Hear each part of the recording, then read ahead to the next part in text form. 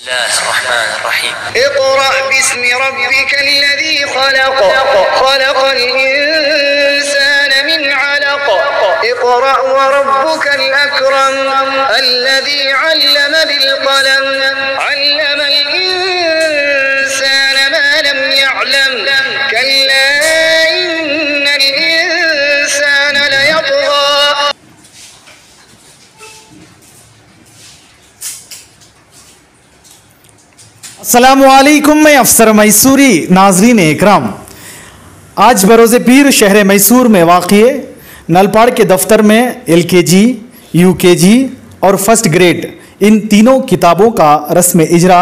बदस्ते हज़रत मौलाना फ़रीदुद्दीन साहब क़िबला दामद बरकातहम और हज़रत मौलाना मुफ्ती इमरान साहब दामद बरकातहम और शहर के मुआज़ व दीगर उलमा और अमायदीन शहर की मौजूदगी में रस्म इजरा अमल में आया हम जानना चाहते हैं इस किताब का क्या मकसद है और इस किताब का नाम उलूम दीनिया रखा गया है इसके बारे में भी हज़रत वाला से तफसील जानेंगे अल्हम्दुलिल्लाह वहदा वस्सलातु वस्सलामु अला मन ला नबी अबादा अम्मा बाद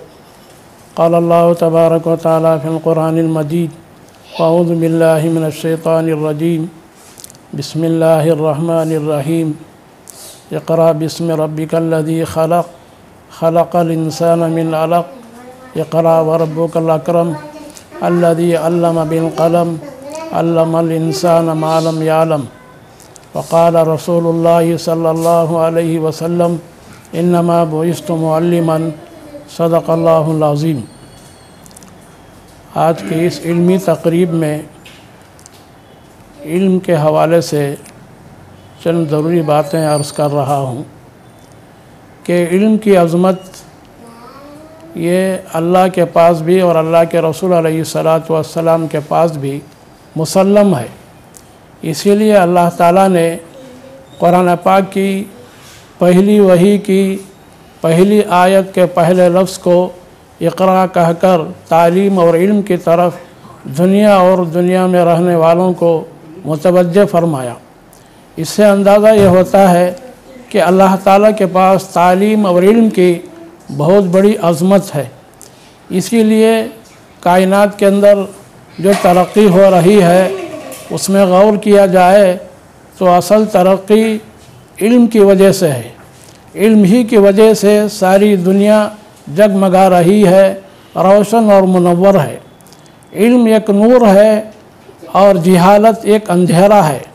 इसीलिए दुनिया वालों को जिहालत से अगर नूर और रोशनी की तरफ़ आना हो तो इल्म हासिल करना चाहिए। इल्म के लिए जहाँ अल्लाह ताला का फरमान है, इसी तरह अल्लाह के महबूब हज़रत मोहम्मद रसूलुल्लाह सल्लल्लाहु अलैहि वसल्लम का फरमान यह है कि इल्म हासिल करो, चाहे तुम्हें मुल्क चीन जाना पड़े।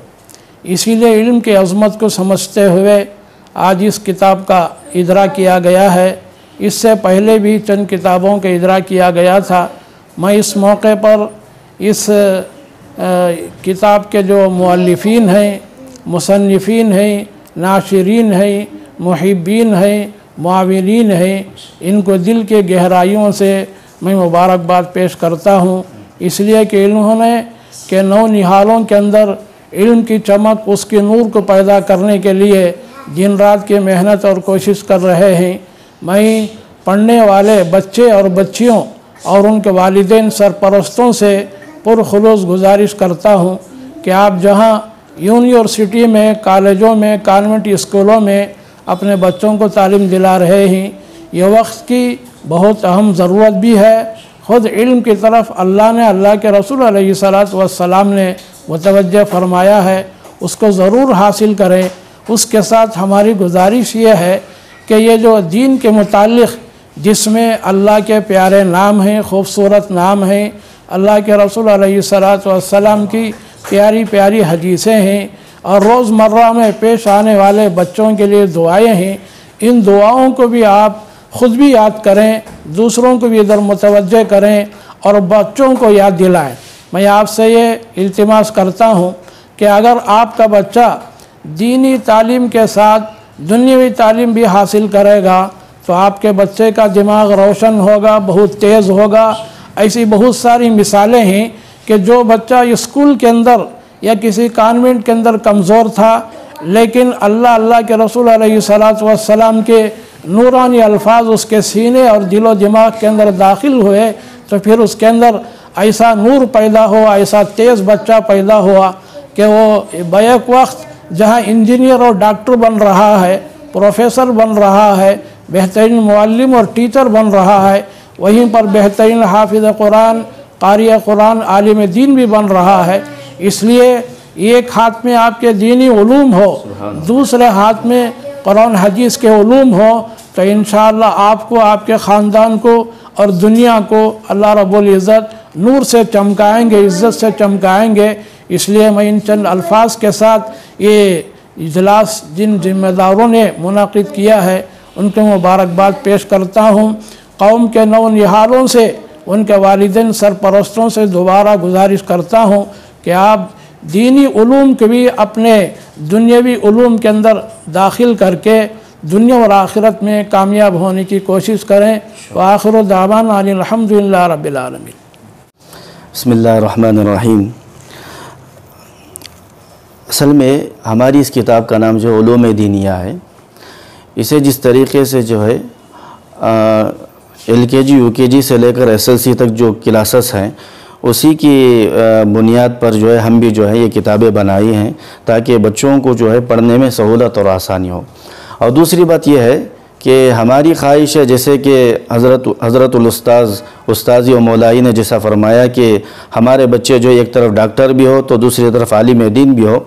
इसी तरीके से हम भी ये किताब बनाने का मकसद ये है कि एक तरफ़ हाथ में कुरान हो तो दूसरी तरफ़, दूसरे हाथ में जो साइंस हो, ये हमारी कोशिश है। और एक बात यह भी है कि किताब बनाने का मकसद ये भी है कि इसके अंदर एक तरफ़ उर्दू है और दूसरी तरफ़ रोमन इंग्लिश है। इसमें एक फ़ायदा ये होता है कि जिन बच्चों को उर्दू पढ़ने में दिक्कत और तकलीफ़ होती है, उन बच्चों को जो है इंग्लिश पढ़ने में सहूलत हो जाती है तो आराम से वो दीनी मालूम हासिल कर सकते हैं और इसके अंदर जनरल नॉलेज भी है। जनरल नॉलेज क्या है? जैसे कि किताब के अंदर ये बताया जाता है, हमारी इस किताब के अंदर जो है कई सब्जेक्ट हैं। उसके अंदर जो है एक जनरल मालूम भी है। जनरल मालूम के अंदर क्या है? जैसे एक सवाल किया जाता है कि हम कौन हैं? तो उसमें ये बताया जाता है जवाब में कि हम मुसलमान हैं।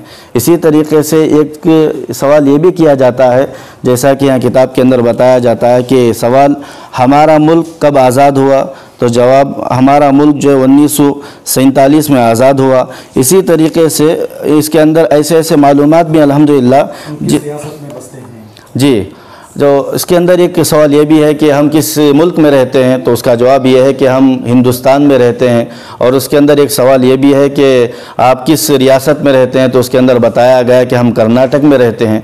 तो गोया कि इस किताब के अंदर एक तरफ़ तो दीनी ूम भी है और दूसरी तरफ़ जो कौम से और मुल्क से मोहब्बत करने की तालीम भी दी जा रही है। यही हमारी किताब का मकसद है और हम चाहते हैं कि यह किताब हमारी हर इदारे के अंदर, हर घर के अंदर, हर मकतब में और जहाँ जहाँ जहाँ भी दीनी तालीम के शोबे जाते हैं उसमें यह हमारी किताब दाखिल निसाब हो। या पढ़ने के लिए इसे पार्ट टाइम ही क्यों ना हो लेकिन लिया जाए तो बड़ी मेहरबानी होगी। अल्हम्दुलिल्लाह हमारी इस किताब के अंदर वालदेन के लिए भी आसानी है चूँकि अक्सर वालदेन अंग्रेज़ी ज़बान से वाकिफ़ होते हैं। लिहाजा हमने दुनवी मालूम को भी रखा है जनरल मालूम के नाम से। जिस तरह इस किताब में देखेंगे कि हमारा मुल्क का नाम क्या है, भारत है। हम किस रियासत में रहते हैं, कर्नाटक में रहते हैं। इस तरह ज़रूरी ज़रूरी चीज़ें जो हैं, उसको भी लाया गया है।